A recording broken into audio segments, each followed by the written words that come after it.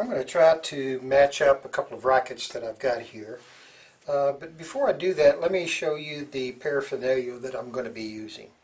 I've made myself up a couple of, uh, of jigs. This right here, these two pieces right here are uh, some angle brackets that I got from Home Depot. This jig goes, or this bracket goes up an inch and a half this way, and the long piece is two inches. So this one goes up two inches, and the piece that I've got glued down is an inch and a half. I'm going to use this portion right here to basically balance my racket on, and this portion right here is going to be a stop. Okay?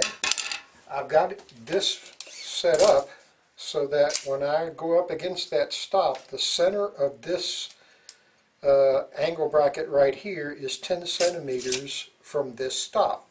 So I know when I put my racket in here in such a fashion that I've got this racket supported 10 centimeters from the butt of my racket.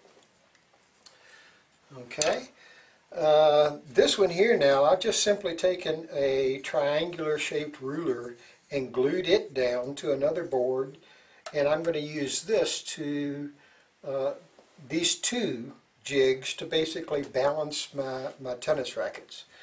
I've got two pieces of dowel here now and I'm using these dowels so that I have a fixed distance between this balance point here and this balance point here of 30 centimeters.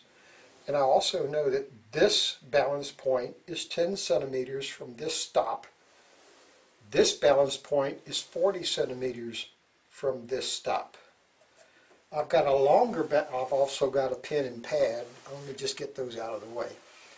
I've also got a longer dowel here now that I can use to uh, separate these two uh, jigs so that now this balance point and this balance point is 50 centimeters apart and this balance point is 60 centimeters from this stop right here.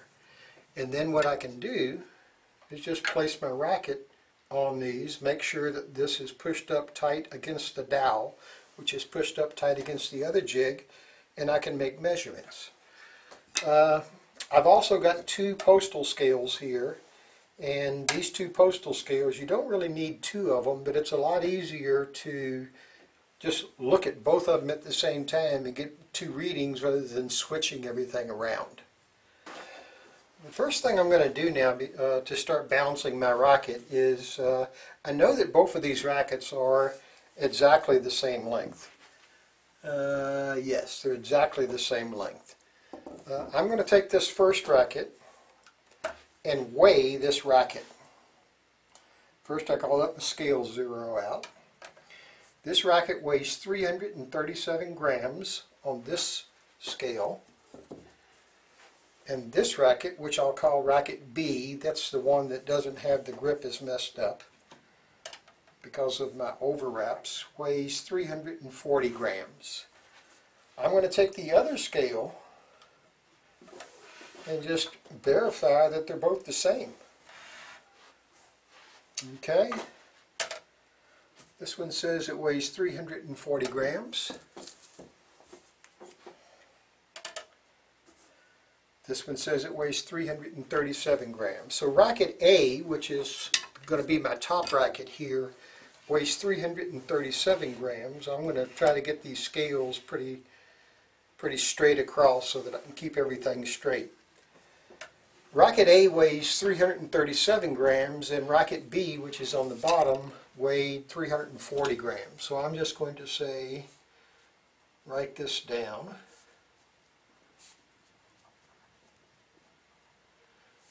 And then I'm going to take some measurements.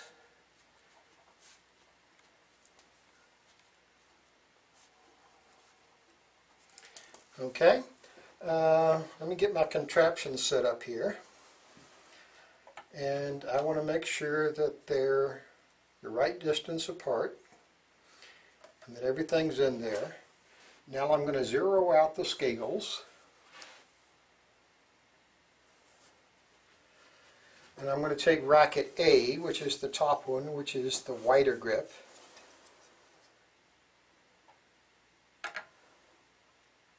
and I'm going to weigh it. This one says it weighs 191 grams this one weighs 146 grams. So at the 10 centimeter point, it weighs 191. And at the 60 centimeter point, it weighs uh, 146. If I add those two numbers together, I should come up with the same thing that I started out with, which is 337 grams.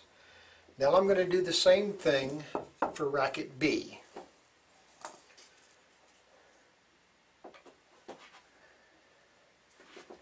Everything's zeroed out.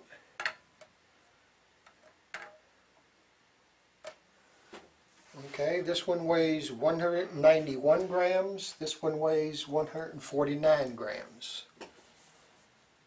191 and 149. So what I could do is stop right here at this point and add 3 grams of weight right here at this location right here. But I'm going to take it just a little bit farther. Uh, what I'm going to do now is take my rackets off and put the short dowel in here. Move the scales a little bit closer together. Whoops, let me get them straight. I just want to make sure they're straight. Okay, it's thrown off my balance quite a bit, so about three or four grams. So I'm going to zero this scale out. I'm going to zero this scale out. I'm going to take racket B, the one with a cleaner grip. I'm going to weigh it again.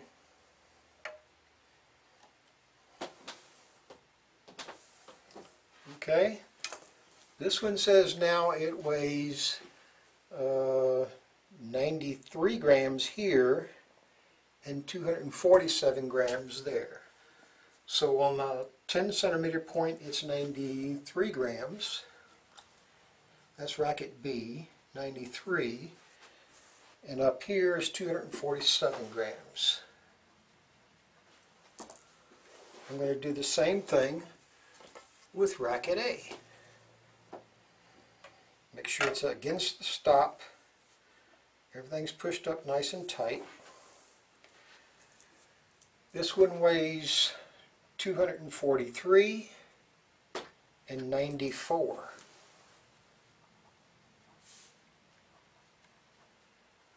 Hmm. I don't know why this one's a little bit heavier here.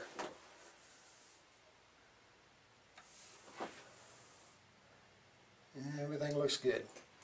All right. Uh, what I'm going to do now is I'm going to take uh, racket A, which is this racket right here, and I'm going to add, uh, what we say, three grams of weight to it. Okay? I'm going to turn these scales off, and I'll be back after I do that. On this ruler now, uh, I've got a scale, I, I, doubt you can see it here, but uh, this goes from 0 to 12 inches, and it shows uh, an inch, and it also shows tenths of an inch. So what I've done is I've taken a 3 inch piece of lead tape, that's 3 inches long, and this 3 inch piece of lead tape will weigh 3 grams. I got this uh, uh, tape from uh, a golf place or whatever, but anyway it weighs 1 gram per inch. And I'm just going to basically cut it in half so that I've got an inch and a half for each one of them. Let me check this one. And it's a little bit sharp, but not enough that I can ever tell. Then what I'm going to do is I'm going to cut each of these in half.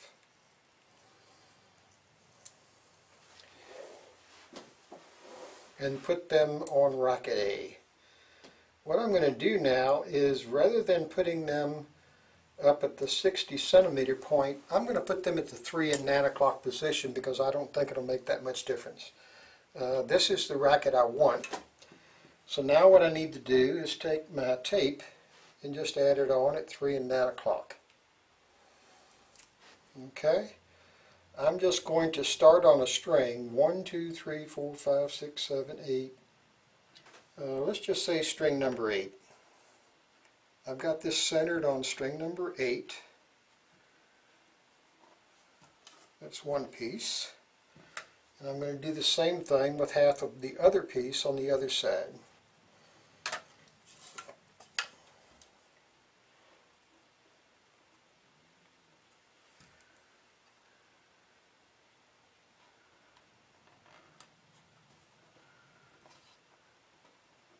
Then this one is half of that one, so I'm going to put this piece right here opposite that piece.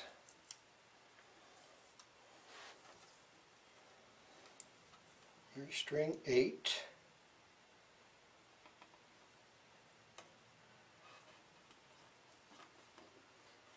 And then this one goes on the opposite side. Then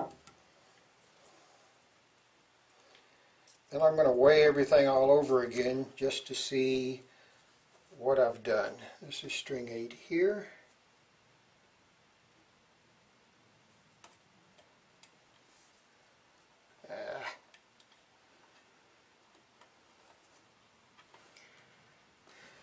Alright, let's start all over again now. This is racket A. I'll just put it on top and I'm going to start at the top. I'm going to separate them by the long dowel. Just try to get everything straight.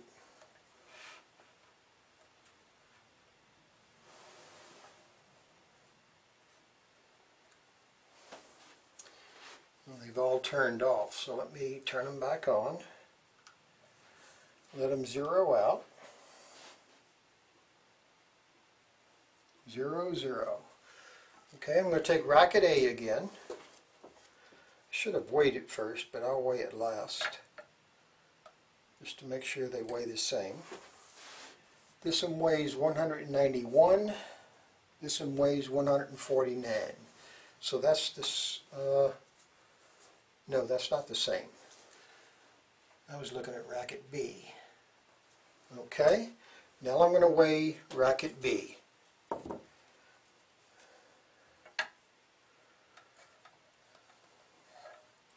Ah, everything does seem to twist up right when you don't want it to. I'll tell you what, let me take this off, make sure I got everything zeroed out again. That's zero, that's not zero. Let me start back with racket A again.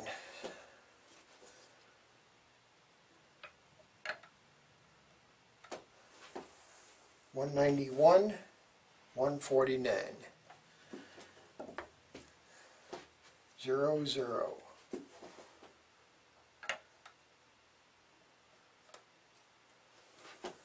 One ninety one, one forty nine.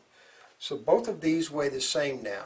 What I've done now is when I grip this racket, uh, my first knuckle right here just about touches at the 10 centimeter point. Actually, the 10 centimeter point is just a little bit higher than that, about a about three-tenths of a centimeter higher. But what I've done is I've basically balanced it so that the force that goes down on this racket above where I'm holding it is the same for this racket as it is for this racket. I can't really tell the difference. Uh, I probably couldn't have told the difference before I added that uh, three grams of weight to this racket either. But uh, now what I'm going to do is I'm going to look, put the short side in there and see what happens with the short side. I want to get these lined up again. Because I'm changing everything, I want to zero it out. This one's on a 3. This one's on 4. Alright, they're all zeroed out. This is racket B.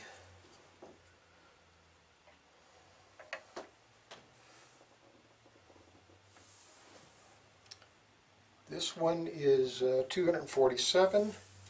This one's 93, which is the same thing that it was, and it hasn't changed.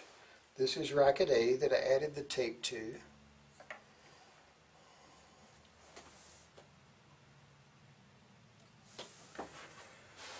This one's 247. This one's 93. This one's changed. The only thing that I can assume is because I added the weight up here, this weight has, because it's above the point that I'm balancing the racket, has canceled out the weight down here. Now this is 93. This is 247.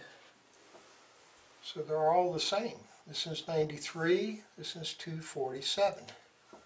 So everything looks great.